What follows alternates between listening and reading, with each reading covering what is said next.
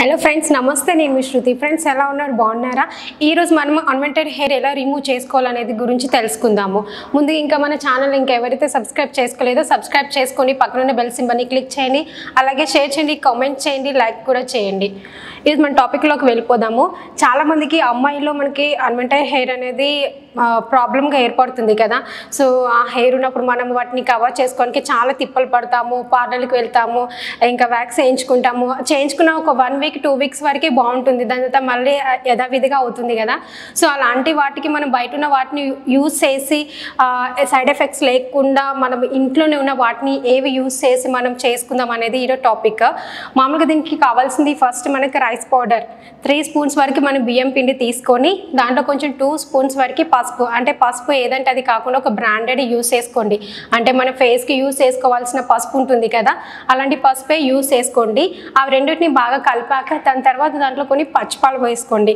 పచ్చిపాలు ఉంటే పచ్చిపాలు వేసుకోండి లేదంటే మీకు కాగబెట్టిన పాలు ఉంటాయి కదా మరుగు చేసినవి ఆ పాలు కూడా వేసుకోవచ్చు.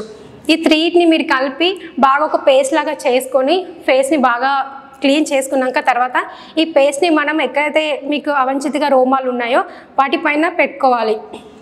ఎక్కడైతే హెయిర్ ఉందో అక్కడ పెట్టేసుకొని మీరు ఒకే వేలో రుద్దకుండా మనం ఏదైనా క్రీమ్స్ పెట్టుకున్నప్పుడు ఒకే వేలో రుద్దుతుంటాం కదా అలా కాకుండా ఇది హెయిర్ రిమూవ్ చేసుకోవాలి కాబట్టి జిగ్ జాగ్గా రుద్దుకోవాలి ఎటు పడితే అట్లా రుద్దుకోవాలి. అప్పుడే హెయిర్ అనేది కొంచెం కొంచెం పోతుంది అనమాట ఇలా ఈ టిప్ యూస్ చేసుకోండి.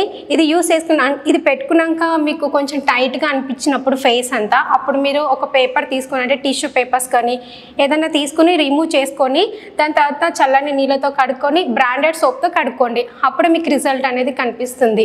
ఈ సెకండ్ టిప్కి కావాల్సింది ఏంటంటే కోల్గేట్ మీరు ఏదైనా కోల్గేట్ తీసుకోండి.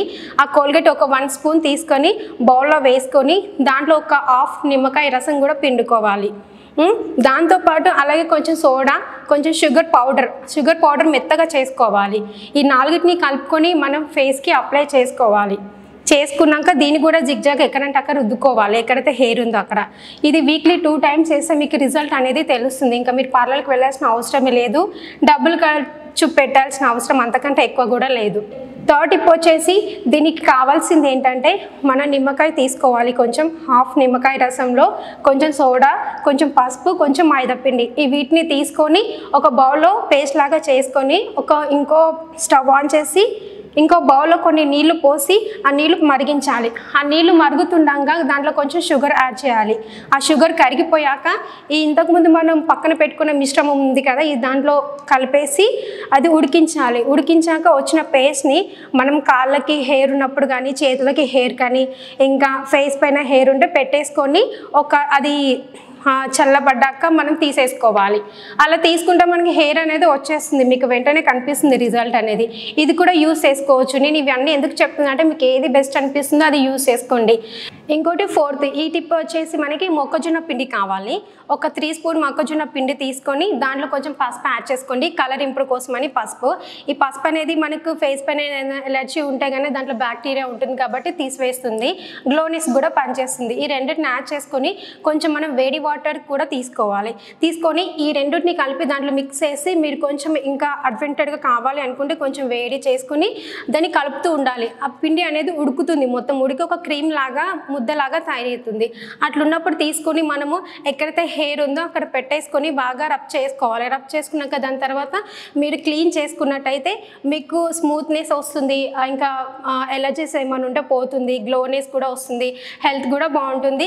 ఇంకా చూడడానికి కూడా అందంగా ఉంటుంది. ఈ వీడియో కనుక మీకు నచ్చినట్లయితే మీరు లైక్ చేయండి. అలాగే మీ ఫ్యామిలీ మెంబర్స్ కానీ మీ ఫ్రెండ్స్ కానీ యూస్ఫుల్గా ఉంటుంది అనుకుంటే షేర్ చేయండి. అలాగే ఇలాంటి ఇంట్రెస్టింగ్ వీడియోస్ మీకు కావాలనుకుంటే ఫాలో చేయండి సబ్స్క్రైబ్ చేయండి షేర్ చేయండి. Thank you for watching